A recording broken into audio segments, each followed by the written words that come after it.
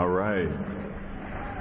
Good evening. Oh man. Um, you know, first off, I want to start by thanking these two gentlemen up here uh, for presenting me this evening. You know, with Ray, he's um, been a great teammate and a great friend, and best of all, he made the game six shots. So, you know, that's great. Um, and man, you know, Pat Riley.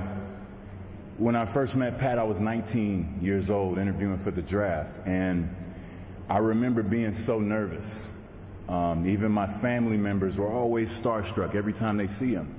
And um, we've had tremendous experiences together. And in honor of everything, I, to, I actually have a gift for you. Um, for some context, when I met Pat during free agency uh, in 2010, he pulled out every trick, you know, and it was quite the performance. And as I was starting to stand up to leave from the meeting, he pulled out one last trick. Um, he took out this velvet bag full of championship rings and dumped them all across the table. And he picked one up, you know, and he looked me dead in my eye and he said, You give it back to me when we win one together. Now, when I think about it, it was crazy because I hadn't even agreed to sign with Miami. But that's Pat, you know, and we did win a ring together, two of them. Uh, but I never gave back the one he loaned me because, you know, for whatever reason, I wanted to wait till the right moment, and, you know, I figured this would be a good moment.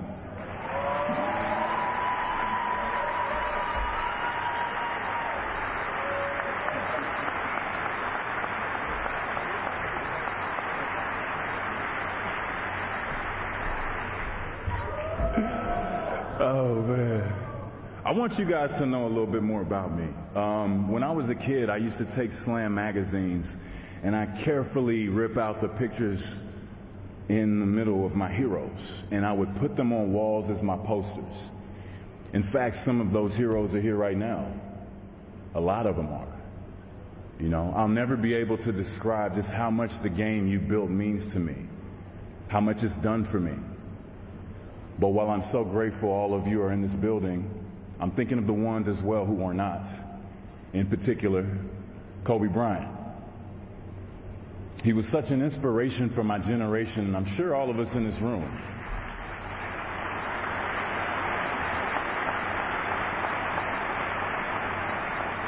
So, I'd like to share a lesson I learned from him. It was 2008. The Redeem team was formed and we were in Vegas for the start of training camp, and we were getting ready for the Olympics in Beijing. We're going to head to Beijing.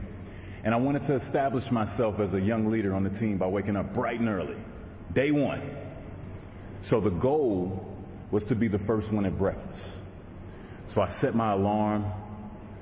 I make sure I'm up by sunrise. I get out of bed. I put on my gear and I head downstairs. But when I get there, Kobe's already there with ice packs on his knees, drenched in sweat. Now, it took me a minute to figure it out, but this guy wasn't only awake before me, he had already worked out.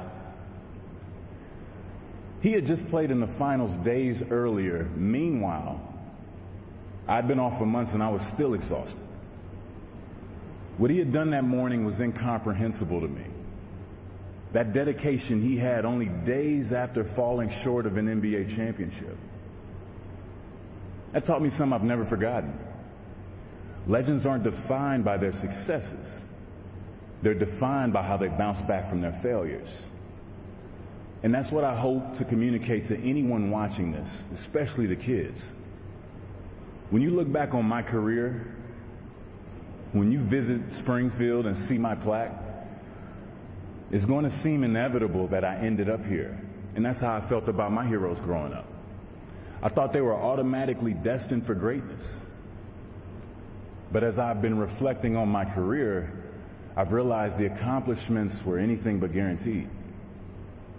The highs I've experienced, they were only possible by how I bounced back from the lows. From those moments when I wondered if it was worth it or if I was wasting my time, or if I was good enough. The moments when I feared I would never grow into the person or the player I knew I could become. And one of those moments after, happened a few years after those Olympics when I was the one who had just lost the championship in 2011. I never thought that we would get that far and lose. And as soon as the buzzer went off, you know, I, I broke down. And unfortunately for me, the cameras caught it. There's even a video of, of it on YouTube called uh, something like uh, Chris Bosh Cries Like a Little Girl, which, you know, I find offensive. To little girls, I'm sure you could agree. Lauren, I've never seen, you know, Yolanda, I've never seen you cry like that at all. At that moment, I didn't feel like an all star. I didn't feel like a champion. I felt like I was 11 years old again, crying after losing the game on Saturdays at Biddy Basketball in St. Philip's. And we lost a lot of games. But that's the kind of kid I was. You know, basketball was everything to me, and I put my soul into it. I would watch all the games I could college, pros, over 40 leagues, church leagues, Sometimes I go to the library and even look up old stats. I still remember them too. You know, um, in 1968, Bill Russell averaged more than 19 rebounds as a coach. Spo, you got to pick it up, man. and while we're here, I got to say it. Hey, Chris Webber, we're going into the Hall of Fame with Bill Russell, bro. That's crazy.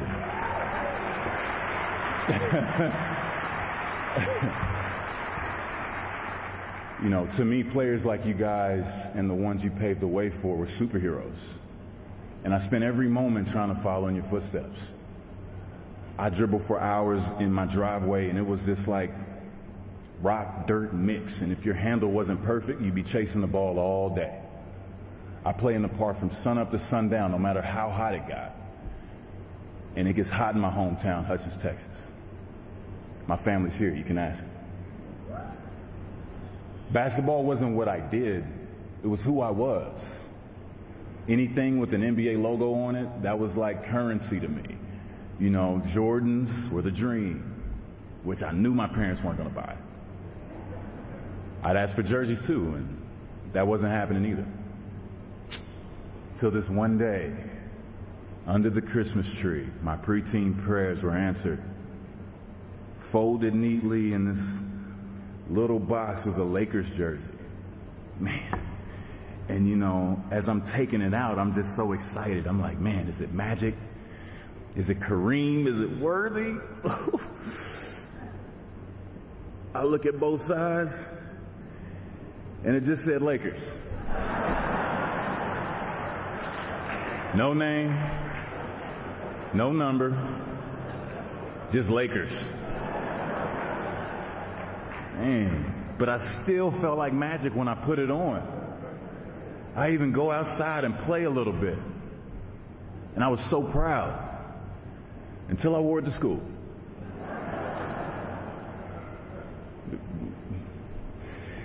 But that didn't take away my love for the game.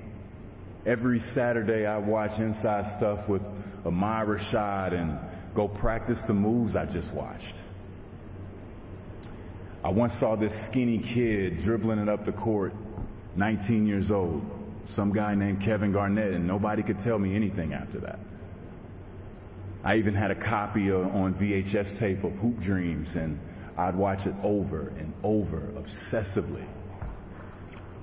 Did you know Juwan Howard's in that movie? Does anybody know that? Check it out. And you know, before I knew it, I was playing in big high school games like the one in that movie myself, alongside one of my best friends, Gino Gray. He's here today. At Lincoln High School, we suffered a heartbreaking loss. LHS, what up?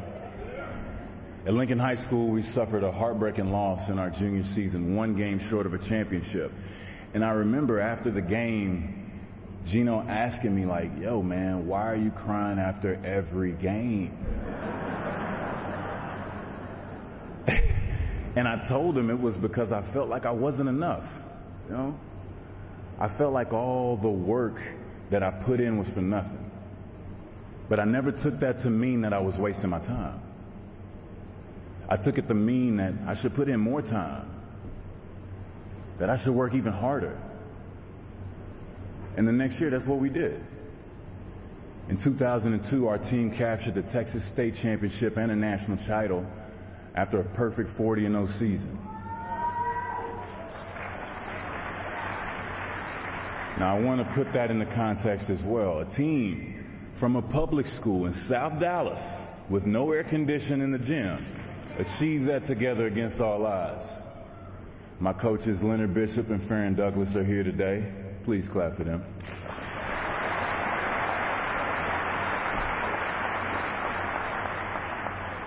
Playing the game that the way that they taught us was the only path for us, the only path to a college scholarship. And my parents told me that's the only way I'm going to go to school. And I got that scholarship. I got to attend the Georgia Institute of Technology and play in the ACC. My coach, Paul Hewitt, he's also here today.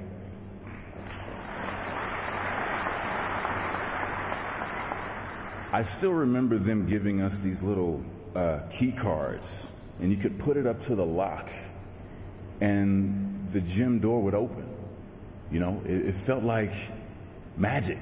The gym with AC in it, 24 hours a day, seven days a week. It was magic to me. Coach you would have to kick me out all the time. I wouldn't leave. You know, I wanted to put in more work. And that work paid off. Less than a year later, I was drafted by the Toronto Raptors. And after shaking David Stern's hand, I got my second NBA jersey. And this one had a name on it. Bosh.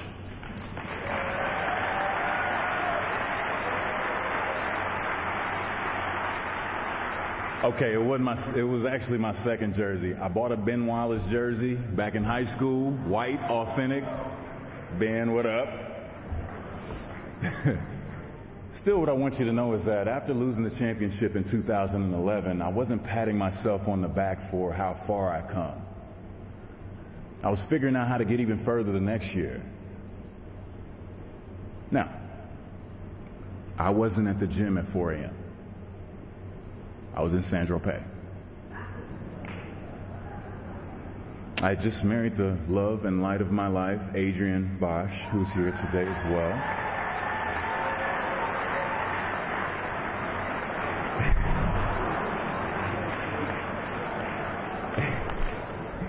And, you know, we had to rebuild from a tough season. You know, brunches and boats and beautiful views, that'll do it for you. It's good for the spirit. Because I knew the whole time we were there, as soon as I got back, I was about to work harder than I ever had. And the rest is history. Heat Nation, are you here? I mean, you remember 27 game winning streak, four finals in a row, 11 consecutive All Star games, and that's if you're a numbers person. Got to have big plays in the finals, back to back championships. But most importantly, we put touches on a super team of our own with a hell of a starting five Trinity, Jackson, Dylan, Phoenix, and Lennox the future.